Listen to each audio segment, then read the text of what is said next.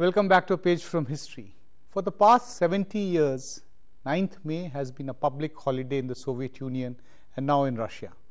People celebrate the victory over Nazis. Russians were not alone in the celebrations, yet the war continued for some more months in 1945. Indivar Kamtekar, we were talking about, I'd asked Ambassador Sikri about what went wrong between Germany and uh, Russia. He did talk about that it was basically a miscalculation on the part of Germany. But you know, as a historian who studied the Second World War, you know, let's fairly long period of wars, not just trying to understand it strategically, but historically when we go back and look at various events which happened, you know, what do you think were the most decisive moments in the Second World War? Again, from our point of view, yes. the entry of Japan, because that's what made it a much more real war for us. Right. The difference between World War I and World War II from an Indian point of view is that the in World War II the front was closer. Yeah. So in a way, uh, World War I is like World War II without Japan. You had actually sirens going on in Calcutta. You had a strong fear that Calcutta would be invaded. Right. People fled in large numbers. Right. Uh, not only from Calcutta, they fled from Madras. Madras in 1942 was for two weeks almost a deserted city. Hmm. Uh, many people went uh, inland, they went to Mysore, other places. There was fear, people left Bombay. We have forgotten over time how much fear of invasion there actually was in India during World War II. It is something which is easily documented if one even looks right. at newspapers. Uh, and in Bengal, this fear over uh, the Second World War and being invaded, you know, was very closely intertwined with the other huge tragedy which was unfolding in Bengal at the time of the famine. You know, this is the crucial point yeah. that when you say that in we must remember the Indian soldiers mm. who fought in World War II and who died, the fact of the matter is that about 30,000 soldiers died, but about maybe 3 million people died in the Bengal famine. Right. Now, those are also, in a sense, war casualties because it is war-induced inflation, it is war conditions which because lead food to that. shortage got triggered off primarily because of mismanagement. Yes, and if it is feared as it was then that the Japanese would invade, there would be widespread hoarding uh, in mm. such a scenario when you feel that the territory will become a battlefield. Mm. So about maybe 3 million people, that is Sen's estimate, Amartya Sen's estimate, died. Right. Now, those are also in a sense war casualties, but it's not an overtly heroic story. So when we remember Indian war casualties, should we remember soldiers or should we remember the people who starved to death? And the people who starved to death were mostly landless labor who carry much less weight in our society and are more easily forgotten. Right. What's your reaction on no, this, Professor? I, I fully agree. this rather uh, contentious viewpoint that we should consider those who died in the famine as uh, war casualties. No, it, it, the link is pretty obvious. The food was being taken away. I mean, it was a deliberate policy decision. Food was needed uh, for the war effort, and it was it there was no food to spare for for Bengal, and so mm. they hmm. were, as a matter of policy, allowed to die. So yes, there are war, there are war casualties. I agree. I think what we are uh, looking at is the the fact that in this there was a, a moral dilemma because after all uh, uh, the Congress party which was leading the nationalist struggle hmm. was caught um, in a cleft stick as it were because on the one hand the principled opposition to uh, playing any role and on the other hand the uh, the, uh, the real uh, um, fear, or not the fear, but the the sympathy that fascism um, should not be the allowed to right. prevail, and so from that because Nehru had talked about the Spanish Civil War. Mm. He, he, his ideas on this were very clear. What what we see at that time is the the way in which uh, the struggle was subordinated and basically uh, uh, as uh, we just mentioned the fact that Britain bled to death uh, this was uh, the withdrawal and then the last sort of rearguard fight we saw the French and the British coming together right. um, in Suez uh, over the Suez crisis. Right. And after that, it was all downhill. Dien Bien Phu had already taken place for the French. Mm.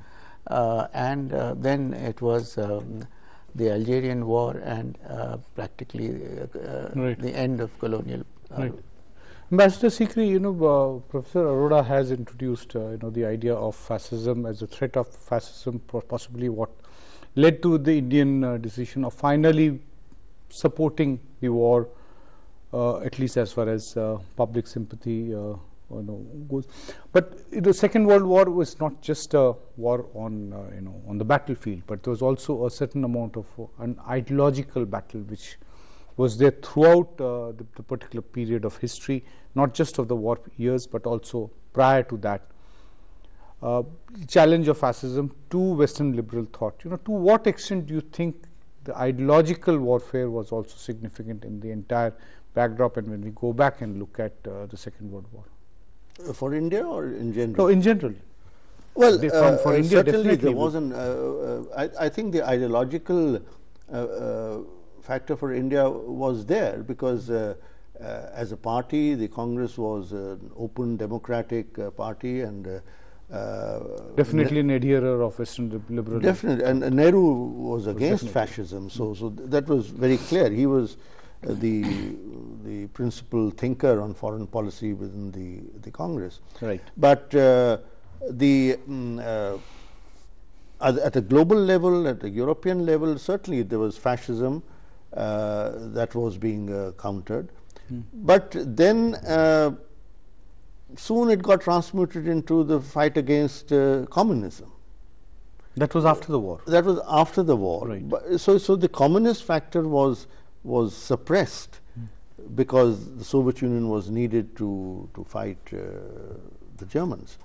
But because the Second World War was immediately followed by the onset of the Cold War, and it continued for several decades. Yeah. So, so the ideological elements in global conflict were sharpened. Mm -hmm as a result of the Second World War. Right. Indivar Kamtekar, quite often it is said that uh, the world as we know today, to a great extent, was shaped and determined by the events and the manner in which the Second World War was resolved, with quote unquote the word resolved, the way the, the conflict was finally settled. You know, as a historian, what kind of a sense does, you know do you have as to that? What did it really do to uh, the global order? Well, we'd be writing very different history and we'd be a very different yes. panel if the outcome of the war was different. Right. So, yes, history is written by the victors. Uh, and the way we look at the world is substantially uh, a product of what the outcomes were. But you know, again, I think we need to have a stronger sense of what the war means for us. And let us remember that World War II was actually very good for large sections of Indian society. Uh, I mentioned how that. You, how was that the case? Well, it was terrible for the people who starved to death in the Bengal famine. Right. But for businessmen, it meant recover. It was huge uh, as an opportunity. Mm -hmm. uh, it wiped out the bad memories of the depression right. which was terrible for industry. So the profits made, for example, in the textile industry and almost any industry, were much greater than they had ever been in Indian history. So the business class in India gained hugely. Not They're basically servicing the war industry? Basically servicing the war industry. The textile because industry, war, textile industry making uniforms? Uh, yes. Uh, you know, tents, boots, anything which an army needs. Right. India was a supply base in World War II. One of the major ones? It was in fact said that India clothed the armies east of the Suez Canal, right. uh, the Allied armies. So war demand was huge. That was wonderful for Indian industry, but not just industry. For the peasantry of Punjab, mm. uh, you know, there was a large increase in the prices of food grains. That helps anybody who is a seller on the market. So places like Punjab saw prosperity which they hadn't so seen without, for without, two without generations. any kind of modern minimum support price, there was suddenly an increase in the minimum yes, price. and demands for land revenue and so on remained fixed in money terms. So when you have a 200, 300 percent increase in your selling price, and the price uh, or your uh, loans and so on don't increase, uh, you know, agricultural debt was virtually wiped out mm -hmm. In India according to the Reserve Bank. And all this was happening because the, the India was not the battlefield. Yes. So war is sometimes very good if, for large sections of society, if the country does not become a battlefield. Uh, even for the middle classes, mm. the hostels, college hostels, whether it is Lahore or Delhi, they emptied out because boys got jobs in the army or in various services. You know, clerks, it was very easy for anybody to get a job if there was a kind of minimum educational qualification. So for these sections so of Indian service society, class also uh, expanded hugely. The service class expanded hugely. Educated unemployment was solved as a problem in India till about the mid 1950s. It is in the mid 1950s that, according to the Planning Commission, uh, this becomes a problem again. But something which had been a huge problem, uh, people waiting in the hostels looking for a job, that completely disappeared in India for almost a decade. So mm-hmm. it is uh, now, it's another matter that the powerful sections of Indian society gained from the World War, and the people who were victims were the lower sections of Indian society. Mm. So it divided our country socially in a colossal way, in a way which didn't happen in Britain, for example. Right. Uh, Professor Arora, is this the way you also look at as to how the war impacted India? No, in a broad way, uh, a war does provide an impetus to the economy, and we saw that uh, before America entered the war. Hmm. Uh, uh um, its economy was booming because it, it was uh, uh, the major hmm. supplier. But it um, benefits a certain part of the economy. The contractors, the, the those who are involved in um, supplying the war effort of, and so on I don't know if the uh, uh, if the vast uh, population uh, gets uh, um, uh, there is no trickle down of this benefit. There is a cornering of profits right. by the, those who are engaged in in these provisions. But more than that, I think what we need to remember is that it marked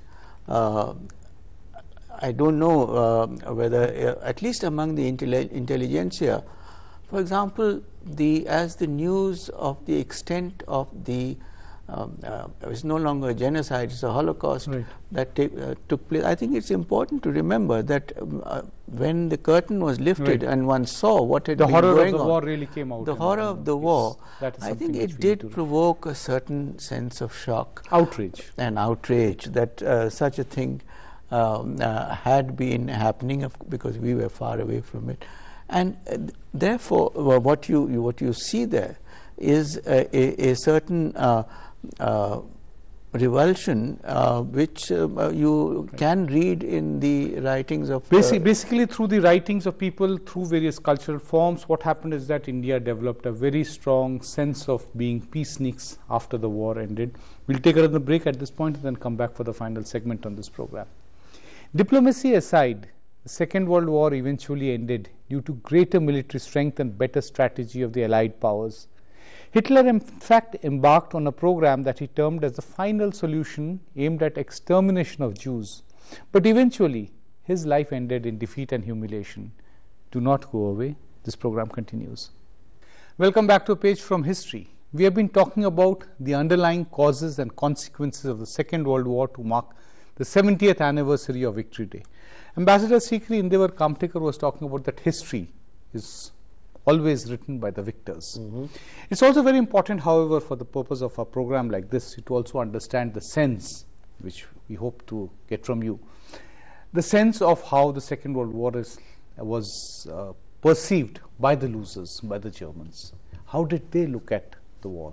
You have talked about remarkably that uh, that they respect the Russians but the memory of the Second World War? How does it linger on in what we can broadly say the German psyche?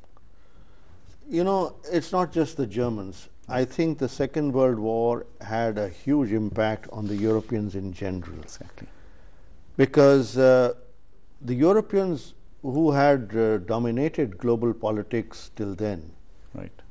Uh, were now engaged more in their internal uh, rebuilding, mm -hmm. the European project, and they became, in a sense, pacifists. You see that even today, that the Europeans do not have that appetite for sending troops all over the world. Right. Uh, they're not part of the great power politics which are taking place, mm. and they often complain that we are being left out. Right. Why is that happening? Because the Europeans probably they had a surfeit of, of, of bloodshed and so forth, yes. and uh, so they uh, two they, bloody they, they tried to, just a few decades. To, the second thing which has happened is that now here again, you know, since 70 years have passed, first they united, and now again the, the, the resurgence of nationalism. You see it in the breakup of countries like Yugoslavia, Czechoslovakia, the separatist movements in Spain, uh, Scotland, all that is happening. So the revival of 19th century national, and that is posing another problem uh, for the Europeans. Hmm. Uh, the Germans uh, specifically, they uh, decided to just keep their head down and mm -hmm. focus, and which they did very well on rebuilding. On rebuilding, so much so that now, without the military might and the weaponry, they are dominating Europe. Yes. The German question is back in Europe, but in a different form. Right. They so, have a different kind of a might now. absolutely. So, you know, the fact that it was the German question which, uh, which led to the war. Hmm. Uh, that how do you accommodate Germany in, in, in Europe? Hmm. Uh, what can be the right balance? Because Germany by itself is too centrally located, too big, too powerful. Hmm. It was divided, then it reunited but kept its head down. Now it is coming up again, and willy nilly it is again dominating Europe. Similarly, the Russians, uh, uh, you know, they were the victors in the Second World War, but are now seen as the losers right. in this new game which is going on. And uh, again, uh, with the question of how do you deal with Russia and Europe?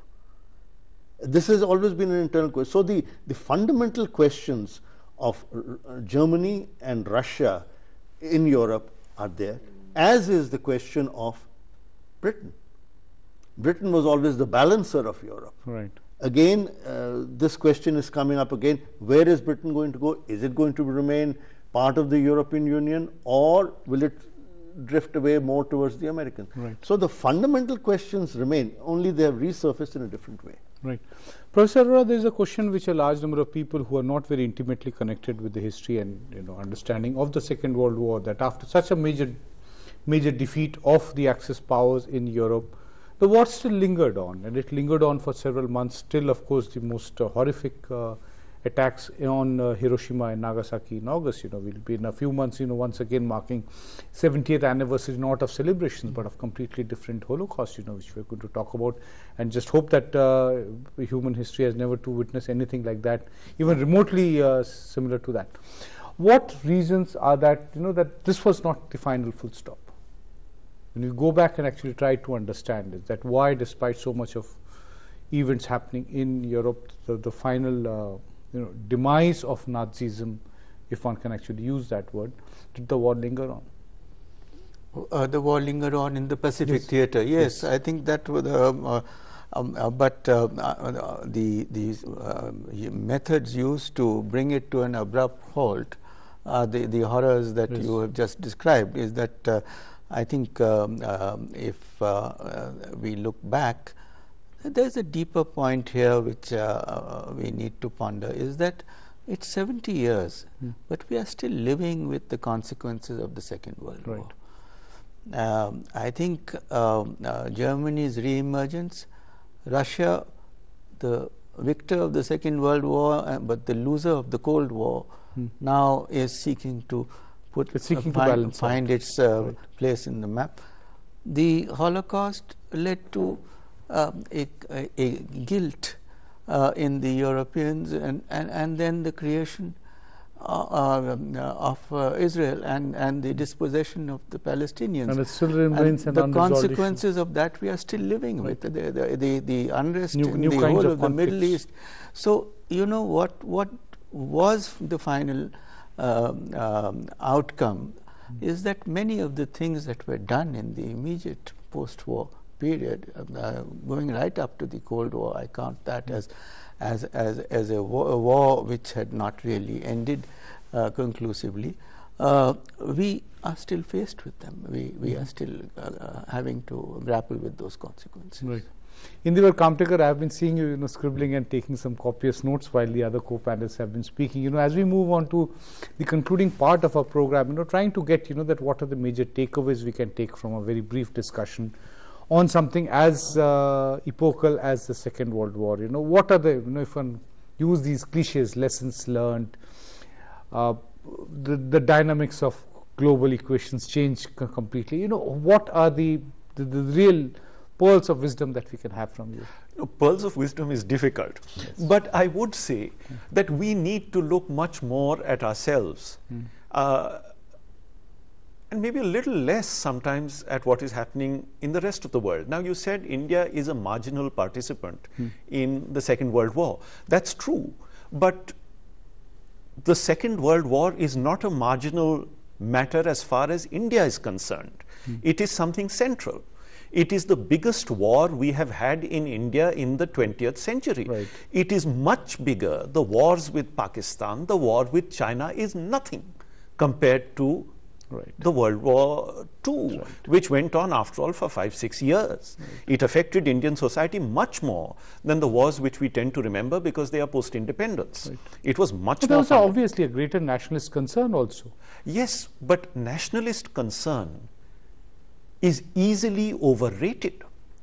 Please remember that in World War II, what it did do was to show the weakness of Indian nationalism because the nationalist leaders were very clear that India should not participate.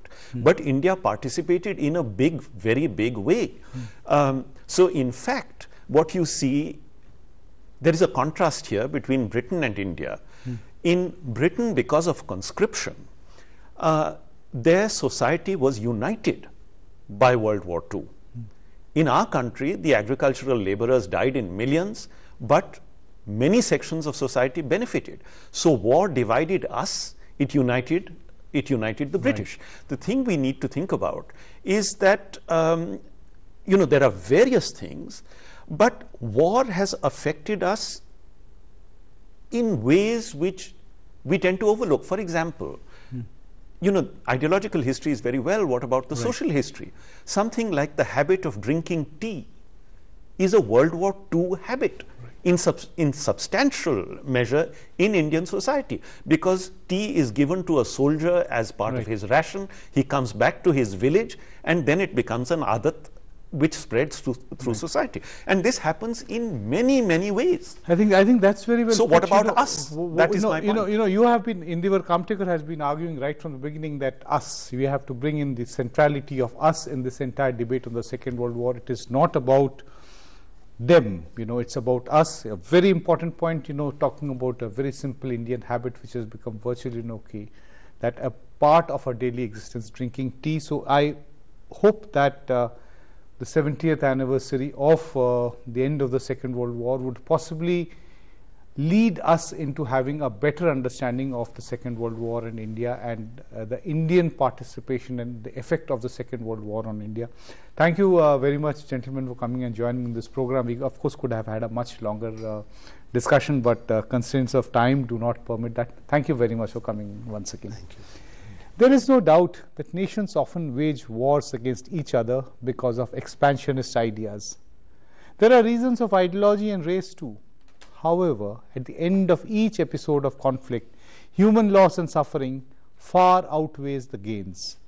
The Second World War was no different. It catalyzed a new global order, but as new conflicts emerge, peace faces more challenges. It is 70 years since the Second World War ended. We hope this will inspire efforts for lasting peace and not just to remember valor, bravery, and sacrifice. Do give us your feedback on this program write to us. Our Email ID is historylstv at gmail.com. We will return next week. There will be another page from history and another panel of experts. Till then, goodbye.